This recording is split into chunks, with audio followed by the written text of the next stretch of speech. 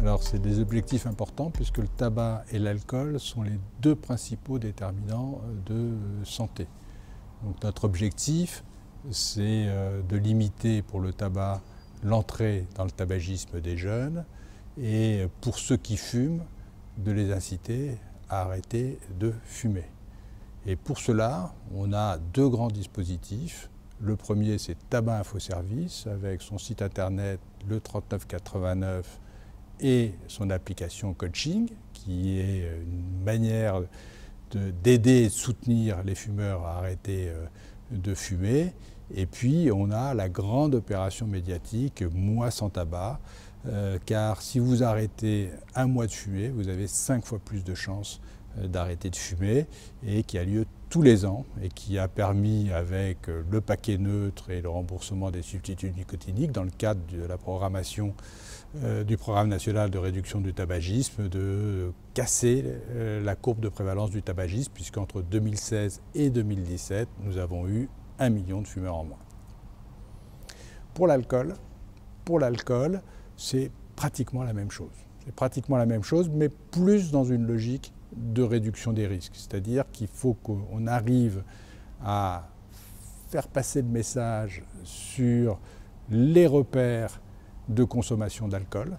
En gros, 10 verres par semaine et deux jours d'abstinence.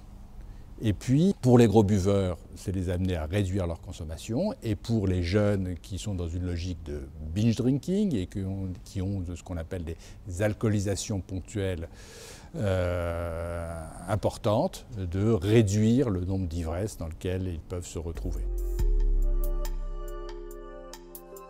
Alors la loi E20, elle date de 91. Elle comportait deux volets. Un volet tabac, un volet alcool.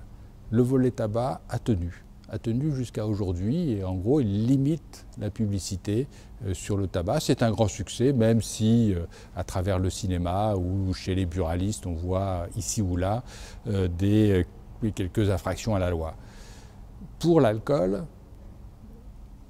la, loi E20 a été considérablement réduite puisqu'on a eu toute une série d'amendements dont les plus récents ont permis le public reportage ou la publicité euh, sur Internet. il suffit euh, de se, balader en ville pour voir que dans le métro, euh, sur les panneaux de co ou dans d'autres endroits, il y a de l'affichage pour, pour l'alcool. Et donc la loi E20, aujourd'hui, n'est plus véritablement existante en 2018.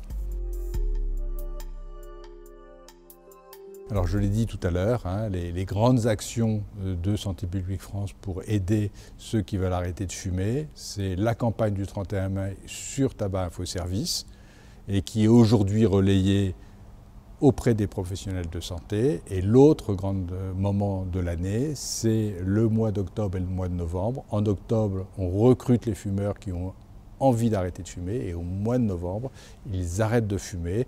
Et euh, pour cela, on a une grande campagne euh, qui permet euh, d'accompagner, de créer, pour cela on crée un défi pour que les gens puissent arrêter ensemble et qu'ils ne se retrouvent pas tout seuls dans les difficultés de l'arrêt de fumer.